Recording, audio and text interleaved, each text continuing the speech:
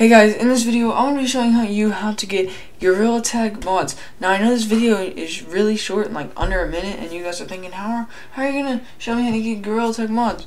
Well, I'm going to link a guy's channel in the description. He really helped me out, and I couldn't record my screen.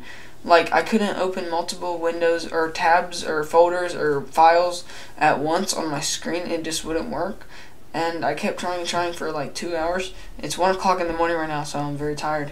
And anyway, I'm gonna link his in the description. Watch the video that says how to get Gorilla Tag mods. After the cloud update, I'll put a picture on screen for you guys. So watch that video, and then he will tell you to watch a different video. And before you watch that video, it will not work after you've watched the first video he tells you to watch. And then you know you just gotta then after that, you're doing everything right. You just gotta watch this video. So thanks for watching. Bye.